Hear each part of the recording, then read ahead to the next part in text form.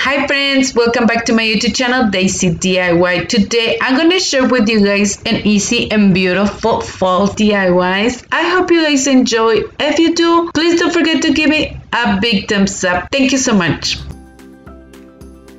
For the first project, we're gonna be using this wood jar that I got at TJ Maxx. It only cost me $2 and I really love it because I was thinking to do something really great for this jar. So the first thing, I decided to cover the letters. I think it's way better to just to use like a piece of sandpaper. So I just did two coats of the Rust-Oleum paint and I just put it to a side and let it dry. I'm gonna be using this beautiful free printable that our talented friend Haiti Sambo she shared with us. I will link it down below in my description box below the video so you guys can print these beautiful free printables. So I just put my free printables on the bottom and the jar on the top and I just trace it and I just cut it with my scissors and once I cut the beautiful image I'm gonna use this Mod Podge that I got from Dollar Tree and I just did one coat and I'm gonna place my image on the top. Also, I went over on the back of the image so it won't have that many wrinkles once I place it and it worked amazing this technique. And once I placed the image with my hands, I just went over and smooth a little bit the image and I decided to do another coat of Mod Podge on the top so it conceals really well the image and I just put it to a side and let it dry completely.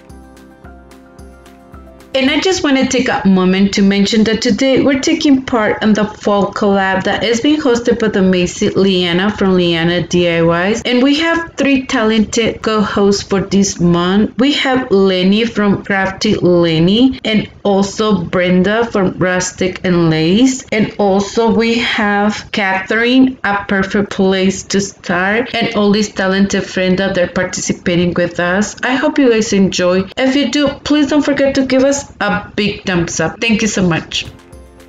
And once it's completely dry, I decided to distress it a little bit on the edges. It was too clean and I didn't like it. So to distress it, I went over with that Waverly Antique Wax and I just went especially on the edges because they had so much details on the jar. So I'm like, let's distress it a little bit and it turned out amazing. I'm gonna do on the other side another project so we can have two side project. I just decided to create three lines and I grabbed my pencil and I mark it the lines twice or three times. I love to trace my lines twice because it's more easy once I grab a piece of paper towel and I go over and distress it. It works amazing and also you guys can use the color pencils. I did that technique before and it works too. Once I'm done, I decide to do the same thing. I went over to distress it a little bit more on the edges and here's the other option that I have. I'm gonna be using this beautiful napkins that I got from my Dollar Tree and I really love them. And I just grabbed a piece of that napkin and I just put one color Mod Podge and I placed my image. And I went over with the same brush and it smoothed a little bit any wrinkles any bubbles that I had under you know? You cannot do it with your hands to kind of like smooth the wrinkles on the bubble because it's a piece of paper napkin and it will rip really easy. So that's the reason why I use the brush. And once I was done I went over and I just did another cut on the top so it can seal really well the napkin on the top. The next thing we're gonna be using I grab a piece of this burlap fabric. I'm not sure what to call it you know? So I just cut a piece and I just place it on the top and I decide to glue it a little bit just on the edges so I can hold it you know? And I grab a piece of that jute twine and I just wrap it around so it can hold it way better. And I just use a little bit of the glue so it can hold it on place. And I just cut it with my scissor the remain piece. And also I just kind of like cut it on the side because there were these long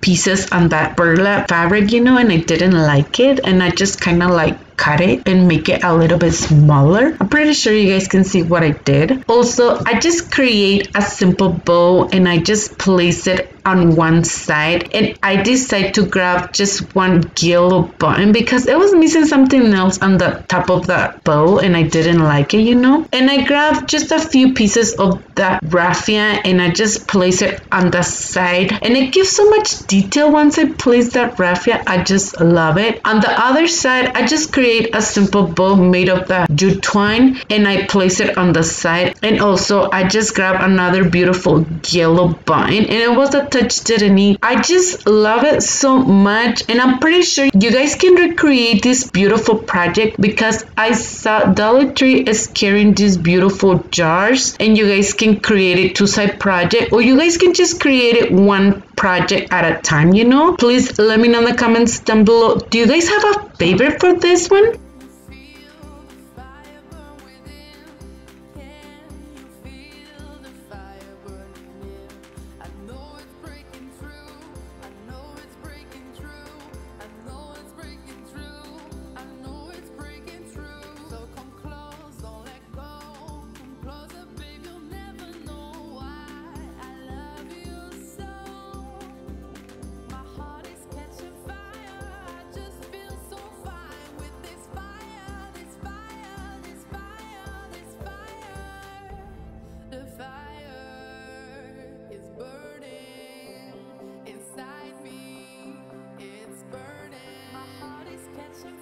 For the next project, I'm going to be using these small wood tags that I got from Dollar Tree. They come to in a pack and the first thing I did, I removed the image and to paint it, we're going to be using this apple barrel paint on color ivory. And first I did a coat and I just let it dry a little bit. And I went over again with the same paint just to cover in a few parts. And I just put it to a side and let it dry completely. And also I just paint the edges. And once it's completely dry, I decide to create three lines on the top. So it can has a little bit of detail this beautiful pumpkin that we're going to create. So I just traced my line twice and with a paper towel I just went over and distressed it a little bit and to give more detail on the pumpkin I decided to use the Waverly antique wax and I just went in a few parts and I just distressed it.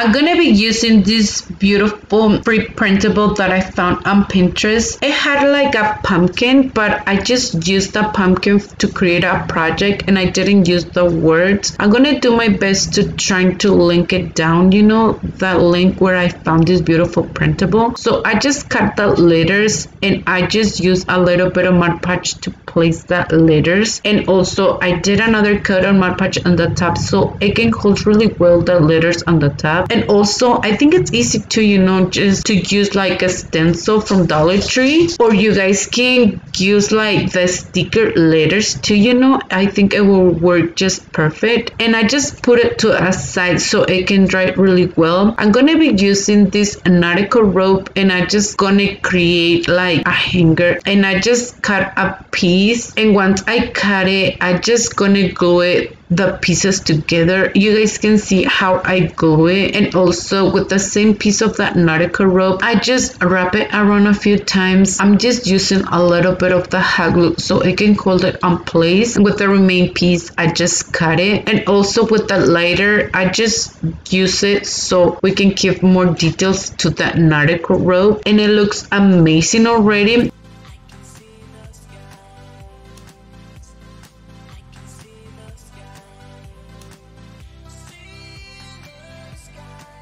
I'm going to create a messy bow and for that I'm going to be using these beautiful ribbons that I got from Dollar Tree. And I just cut a few pieces and I just place all the pieces together. And once I place them I just grab a piece of the jute twine and I just tie it really well all the pieces together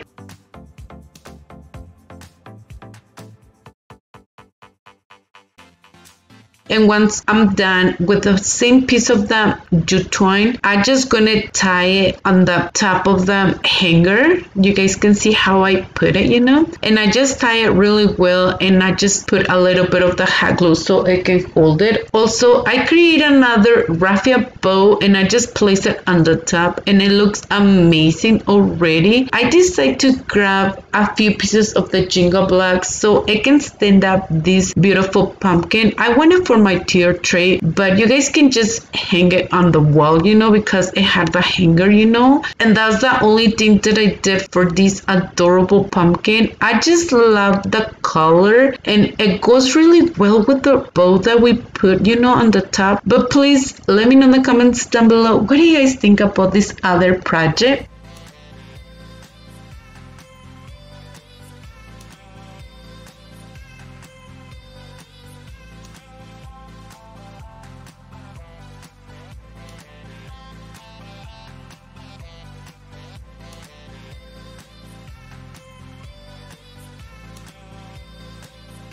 For the next DIY, I'm going to be using this beautiful wood leaf that I got from Dollar Tree and I just used a little bit of the spackling to cover the hole. And to paint it, I'm going to be using this Deco Art paint. It's kind of like light gray. It doesn't have the name of the colors. So I just did one coat and I just paint also the edges of the leaf and also on the back. And I just let it dry really well the next thing we're gonna be using this beautiful garland that I got from Dollar General and it's really beautiful. I love the colors and I decided not to remove that letter A because it was just perfect to put it on the top, you know, the leaf. It holds really well and also I just can remove the leaf, you know, whenever I'm done with the decor but I really love it how it turns out and I just create a simple bow and I just place it on the top. I'm gonna be using these rub-on transfer stickers that I got from Dollar Tree and I'm gonna be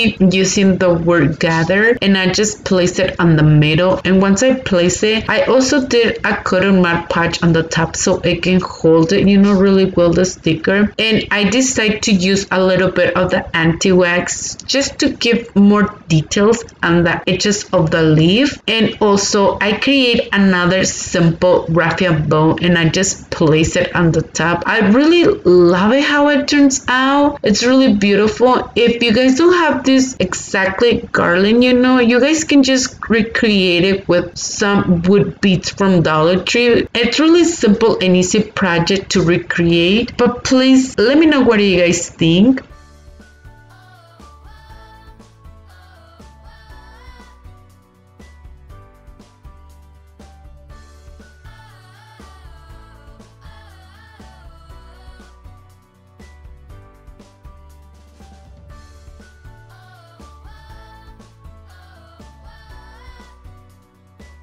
last project, we're going to be using a piece of wood that I had on hand. You guys can grab just like any piece of wood that you guys have, or you guys can just grab a piece of wood from Dollar Tree. And to paint it, we're using again this beautiful color, Deco Art on color grade. I really love it, the color. So I just did one coat and I just let it dry. I also paint on the bottom and also on the back. We're going to be creating two side projects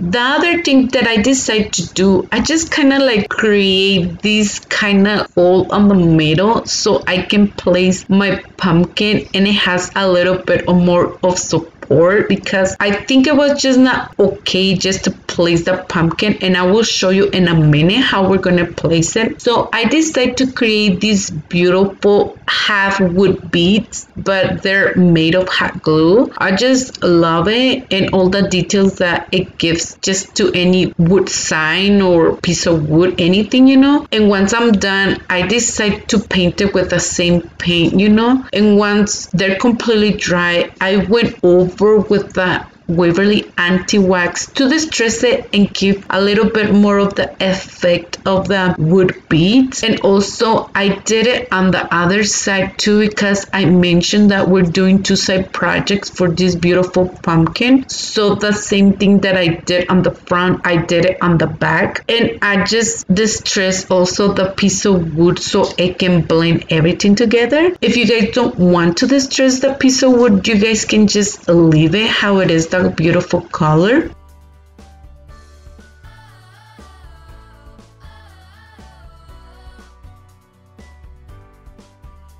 The next thing we're going to be using this metal pumpkin. I'm pretty sure you guys see it at your dollar tree and i had it for a really long time and i really love the image but the color of the pumpkin i didn't like it. So i decided to paint it. I'm going to be using the deco art paint on color grade and i'm just going to cover all the edges of the pumpkin. I first did one coat and it didn't cover really well the orange. It had under once it was dry, I went over with a second coat and it was just perfect with the second coat because it covered really well the orange part. And I think right now, you know, I think it's way easy just to cover the image with a few pieces of the painter's tape. And I think it's way faster. But at the moment, I was too relaxed. I'm not sure what I was listening, you know. And also on the back, I painted two and I did two coats and I just put it to aside and let it dry really well.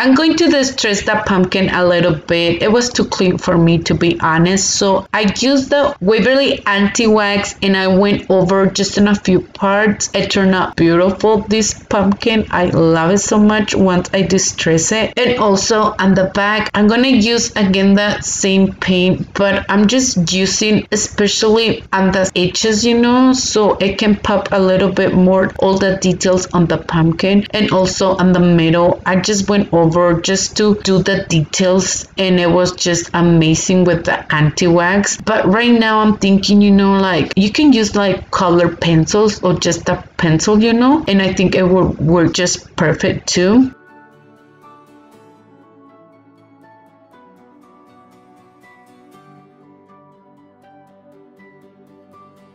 I'm going to be using these metal words that I got from Dollar Tree and I'm going to be using the word harvest and I'm going to be just using hot glue to glue it. I think it's way better for permanent hold to use E6000. I'm going to be using a little bit of the E6000 to glue the pumpkin so can has a permanent hole with a little bit of the hot glue and I just placed the pumpkin. Do you guys see? Why I decided to make that kind of like hole in the middle because it holds really well and I just reinforce it with a little bit more of the hot glue on each side and I create just a simple bow made of that jute twine and I just place it on the top and it was really simple and easy project to create but it has really high end look this pumpkin. I love the color and it looks amazing in my house but please let me know in the comments down below. With all the projects that I create for you guys which one it was your favorite And please don't forget to see all the videos that all these talented friends that they're participating with us today. Thank you so much, Liyana, for hosting this wonderful collab.